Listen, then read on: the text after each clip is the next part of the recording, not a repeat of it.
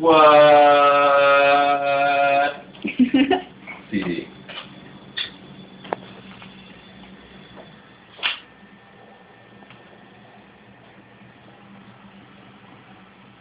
Go, damn you.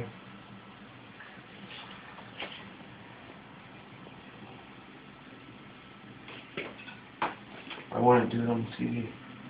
Might have to be on the stove top, like with the space under it. Oh yeah, there we go.